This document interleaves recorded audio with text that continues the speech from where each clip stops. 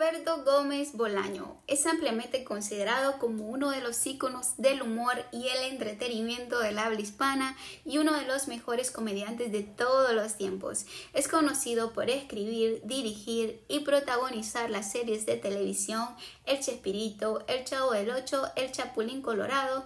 También fue creador de varios personajes más como el Chompiras, el Doctor Champatín, entre otros. ¿Sabías que su nombre artístico surge cuando uno de los directores de cines con el que trabajó lee uno de sus guiones y lo compara con un pequeño William Shakespeare. Más tarde comienzan a llamarlo con el diminutivo de Shakespeare. ¿Conoces los nombres de los otros personajes de Roberto Gómez Bolaño? Déjame tu respuesta en los comentarios.